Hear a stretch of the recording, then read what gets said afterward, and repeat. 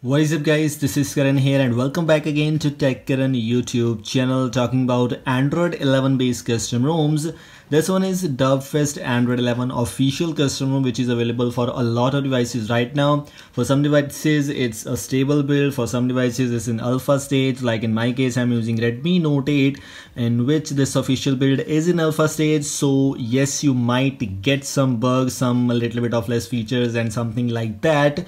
But you can install this also if you want to because I'm using it from some time didn't got any major bugs till now. This is called Derpfest Android version 11 with the November security patch which is kind of a latest one.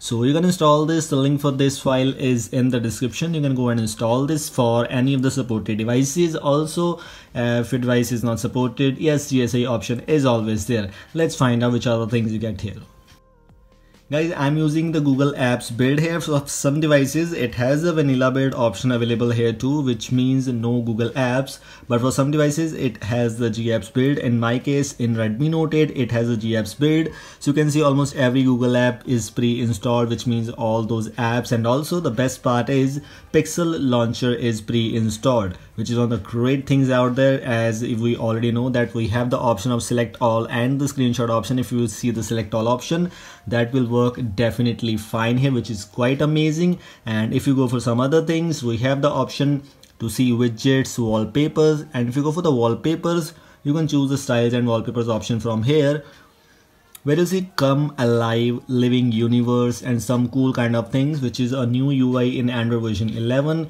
you can use the live wallpapers for some devices. It's working fine for some devices. It's not working fine if I apply the live wallpaper from here my device will hang a lot it will lag a lot. So in my redmi note 8 and if you're a redmi note 8 user i'll recommend you not to use these live wallpapers at all if you go for other things like quick settings panel almost same kind of things and this is not the default kind of thing. You can choose the styles and wallpapers option from the settings and you can modify a lot of things here like the fonts the icons the colors a lot of things like that. If you go this like this edit icon from here we have the location hotspot some new things including screen record and AOD option. Of course you should not use at all if your device has LCD display if you go here we have the option of choosing the maximum rows and columns and quick bar columns etc if you choose the maximum rows to 2 now you'll see the same kind of UI you will get here. Let me show you by going here. So this is not changed.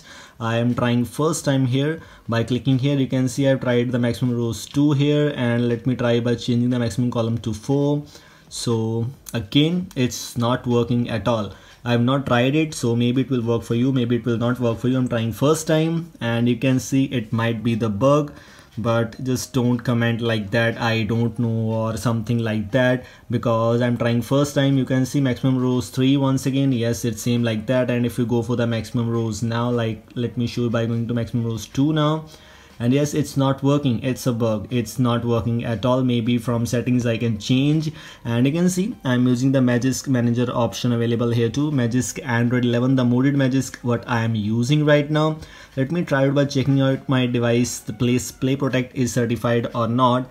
And the best part is device is certified. Yes you can use the banking apps if you want to which is one of the main highlights of this build that the device is certified. So if you're looking for Android 11 based ROM in which your device will be certified, you have the option of choosing the Derpfest ROM out there network and internet, connected devices, apps and notifications, battery, display, a lot more things from the Android 11 in which one of the main features include the notification history which you can enable by going here and check out your notification history which is a by default feature available in Android version 11 and if you are if you are eagerly waiting for Android 11 build on your device go and install this build because a lot of features are there. Pixel launcher is pre-installed.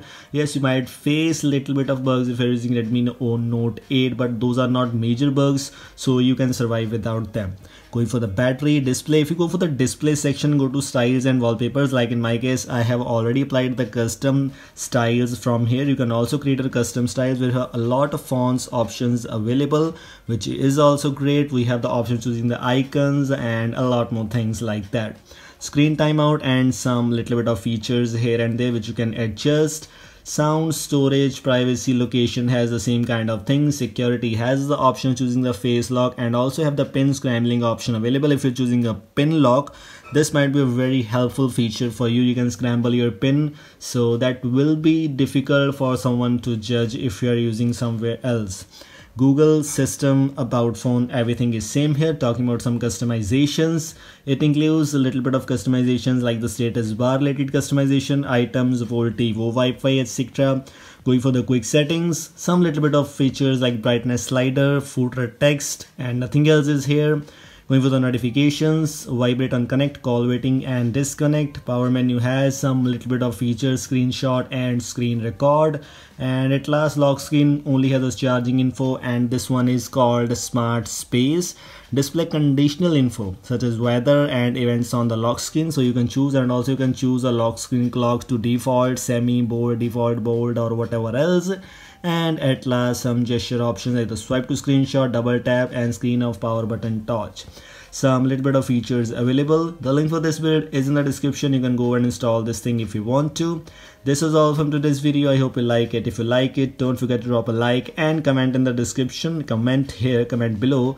Thanks for watching. Goodbye